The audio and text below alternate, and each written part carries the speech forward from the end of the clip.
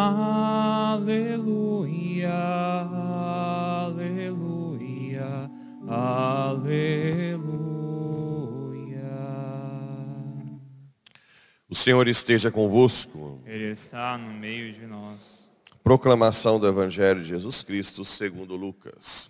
Glória a vós, Senhor. Naquele tempo, Jesus saiu da sinagoga e entrou na casa de Simão.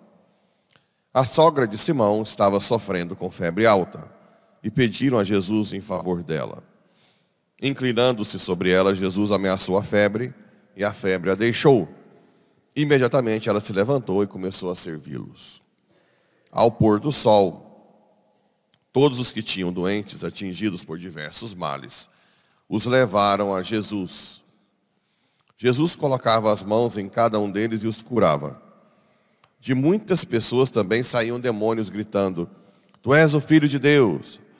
Jesus os ameaçava e não os deixava falar, porque sabiam que ele era o Messias. Ao raiar do dia, Jesus saiu e foi para um lugar deserto. As multidões o procuravam e, indo até ele, tentavam impedi-lo que os deixasse. Mas Jesus disse: Eu devo anunciar a boa nova do reino de Deus também a outras cidades. Porque para isso é que fui enviado. E pregava nas sinagogas da Judéia. Palavra da salvação.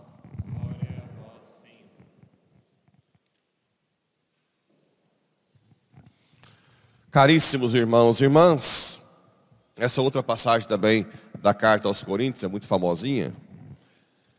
Por quê? Porque fala da questão do progresso espiritual. Não pude falar-vos como pessoas espirituais. Tive que vos falar como pessoas carnais. Isso é uma coisa que a gente tem que fazer sempre também. Como, que, como crianças na vida em Cristo. Pude oferecer-vos somente leite não alimento sólido, pois ainda não erais capazes de tomá-lo.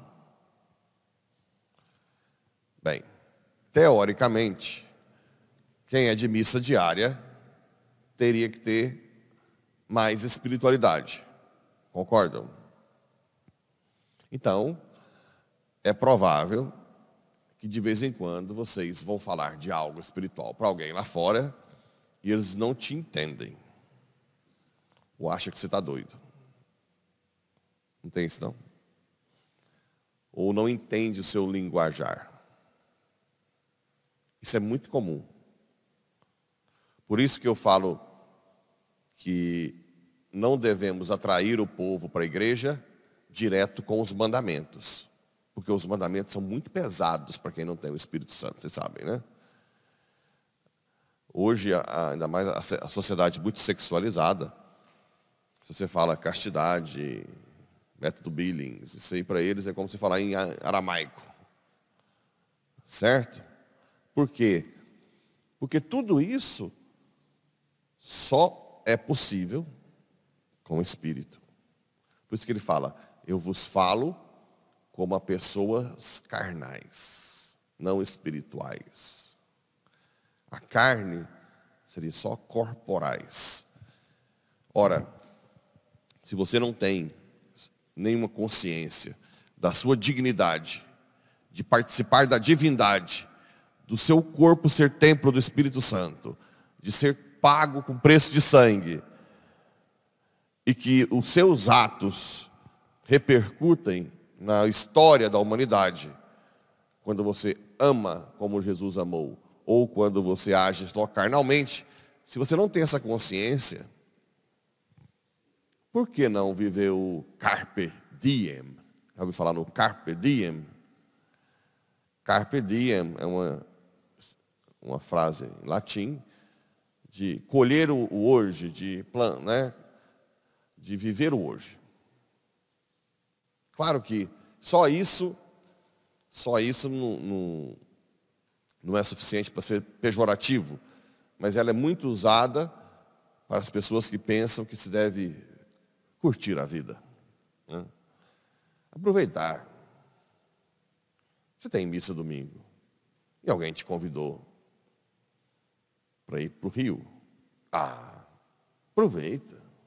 A missa é muito mais chato. Né? Então ali, por quê? Porque a pessoa não tem plena consciência do jogo que está por trás, do plano de salvação, da sua própria dignidade. Então tem penitência, jejum. Que isso? Né? Mas se você está aqui, as coisas estão aí, por que você não vai curtir? Você vai ficar fazendo penitência para quê? Você é louco? Por que que falam isso? Porque não tem acesso às coisas espirituais. Castidade. É, a fidelidade ainda tem um certo respeito, por quê? Porque a infidelidade ainda fere o cônjuge, né? Por mais que sejam pagãos, ninguém quer ser traído. Ainda tem, por isso ainda se conserva um pouco da ideia de que tem que ser fiel, mesmo que não cumpram, né? Mas ainda tem essa ideia na sociedade. Mas existem muitas coisas que se você falar, ninguém entende. Principalmente no aspecto de perder por alguém, por opção sua. De perder o seu gozo pessoal por alguém, por amor. Porque para eles isso é loucura. Você tem que seguir o seu corpo. O seu corpo pede passeio, comida. Por que privá-lo? Prazer sexual? De onde vem isso? Para que isso? Claro, se eles não têm capacidade de transcender, se eles não conseguem entender o que o Espírito Santo faz dentro de quem o segue, a paz, a fortaleza, os dons, a sabedoria, a, tudo que Deus dá. Deus é esperto, né? Deus não deixa quem está fora ver.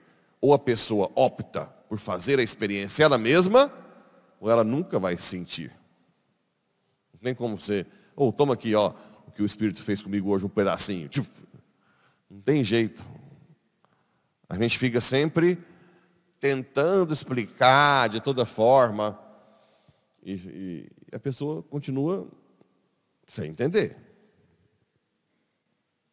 Sem entender. E nem atualmente sois capazes de receber alimento sólido. As rivalidades e rixas existem aí no meio de vós. Um dos sinais da imaturidade espiritual são as rivalidades, brigas. E aqui no caso, dentre os cristãos, né? Uns que seguiam Apolo, Paulo. Ele diz: Nós somos só instrumentos, quem faz crescer a fé é o Espírito. Devemos ser unidos. Aqui, aqui em Porá, nem tanto, mas é, você vai em, em cidades grandes, você, vai, você, vê, por exemplo, que os que participam de, de movimentos da igreja, a briga que é com quem é da paróquia, quem é do, do neocatecumenato, eles gostam de uma missa, tem que ser daquele jeito que dança, sei lá o quê. Aí entra em conflito com o padre da paróquia, comunhão e liberação lá em Milão. Então vai virando aquele zetelo, né? Não, mas tem que ser assim, não, a gente já está tá participando lá. E começa sempre um, ao invés de se unir para ter uma, uma evangelização mais forte, brigam. A nossa tendência Todo ser humano tem a tendência de querer formar grupos, né? Grupos que se identificam. Isso é comum. É muito comum. Em Goiânia já tem muitas, as comunidades, né? E se identificar, e criar um, um jeito exterior de uma comunidade, participar de grupos e se jogar naquilo ali como se fosse uma segurança mesmo. E sempre dá conflitos, às vezes, lá em Goiânia mesmo, precisa nem ser em outro lugar, com uma paróquia, com um bispo, é sempre um, uma tensão, ninguém, ninguém quer ceder, né? A tendência nossa é de querer assumir uma, uma caricatura. É, aqui, o, o, o, o jeito que não atrai é o que eu falo aqui, né? A gente treinar, eu não presto, só Jesus é bom. Isso não atrai. Mas se chegasse aqui um, um coaching e dissesse, paroquianos da Paulo VI são os más, os maiores. Não se comparam a nenhum. Isso começa a entrar aqui, né? Aí, aí depois se ele cria uma forma de vestir, eu acho que os paroquianos deveriam vestir tal cor, todo mundo vai, vai entrando naquela. Porque você vai sentindo como diferente, diferenciado. Né? Isso atrai. E muita gente se apega a isso de uma forma extra... fortíssima. Fortíssima. E isso na igreja acontece muito. Muitas heresias da igreja foram por causa disso. Nós não somos como os outros, nós somos mais santos. Por exemplo, montanismo, que é uma heresia na igreja, em que um padre da igreja só não se tornou santo porque no final da vida ele entrou. Ele queria tanto que o povo fosse santo e ele caiu nessa armadilha de achar que nós deve, que a igreja está muito fraca, que deveria ser mais santa, mais, mais penitência, mais oração. E ele entrou nessa heresia chamada montanismo. E assim, várias vezes. Nós, nós temos a tendência de querermos ser diferentes, diferenciados. Né? Outro dia encontrei um padre de Florianópolis que estudou com o mesmo grupo, o Opus Dei, que eu estudei em Roma, na Espanha. Aí ele começou com a conversa. Na, na, na em Roma é mais fraco. É, os professores são mais exigentes. Ah, meu Deus do céu. Ah, tá bom. Sempre tem essa, essa tendência, né? Lá em Navarra é muito mais difícil de passar. Tá bom. Mas você quer sempre. Então é isso que São Paulo está tentando combater. Agora, com a, nossa, com a nossa frase que a gente não presta, só Deus é bom, é difícil a gente cair nessa, né? Ou cai. Se vier um padre aí formar uma outra paróquia e dizer, venham para cá vocês diferenciados. Vocês não podem participar dessas. Vocês vão cair? Não, né? Não, né? Espero que não. De vez em quando eu ouço também. Você não é um padre de lugar qualquer. Você nasceu para brilhar. Hã? O demônio vira e mexe usa alguém. Se foi você, não fica preocupado não. Ele usa eu também para falar algo, né? Você não é um padre de cidade de interior. Depois quando sai, né, o demônio deve ficar. É muito mais fácil, é muito mais seguro nós reconhecemos a miséria que nós somos, pequenos. Somos nada. Pode ser que São José Maria Escrivá tem no Caminho, quem tem o livro Caminho? Ele diz assim, mais ou menos, lembra-te que és pó, sempre continuarás pó. E mesmo que o Espírito te sopre, e você brilhe no alto, como ouro, não te esqueça jamais que és pó, que quando ele deixar de te sustentar, cairás e voltarás a ser pó. Certo? Mais ou menos assim. Essa é a, a chave. Ixi. Bem, e o Evangelho, Jesus que cura, né? E a sogra de Pedro? Pedro foi casado ou não foi? Tudo indica que sim, mas se foi, provavelmente era viúvo, porque largou tudo. Concordam? Senhor, e nós que te deixamos tudo para te seguir, o que nós vamos ganhar? Pedro era bem direto. Agora, os padres casavam no início, sim, até o século VIII, mais ou menos. Quem mudou um pouco isso foi Gregório VII, se não me engano, como reforma gregoriana. Mas a questão era, os padres ficou safado. Está vendo? Era cheio de concubinas. Olha como é que Deus é. Para resolver isso, teve a reforma, o celibato, e também começaram a surgir é, mosteiros.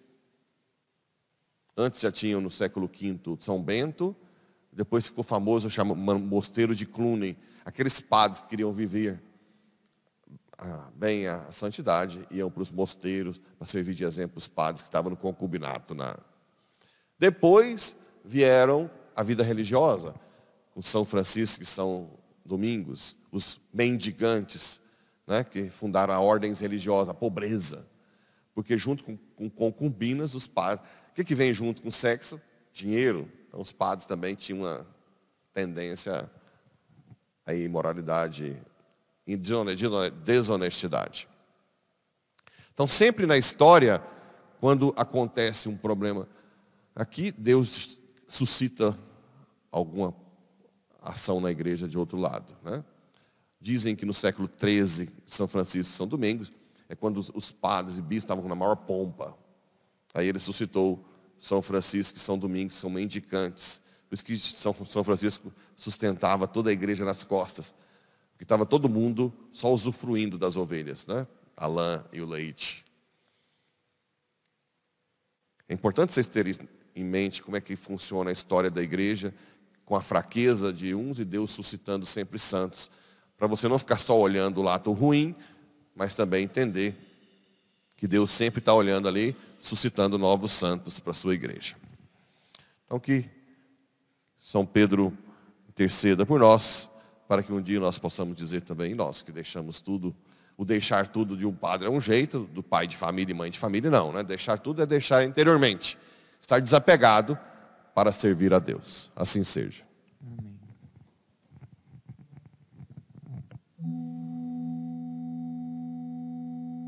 Quantas vezes em nosso dia a dia nossas crianças estão expostas a. Elas passam o dia todo no celular consumindo conteúdos que nada as ensinam. Seria tão bom se pudéssemos engajar nossas crianças na fé Felizmente, isso é possível. Conheça o kit Católico Mirim, Catequese Infantil. Este é um kit completo para o ensino da fé católica de maneira didática e pedagógica para crianças. Se você é pai, mãe ou catequista, dê a oportunidade de seus pequenos se aproximarem de Deus. Não perca tempo, adquira o kit Católico Mirim e ajude a construir com nossas crianças a Igreja do Futuro.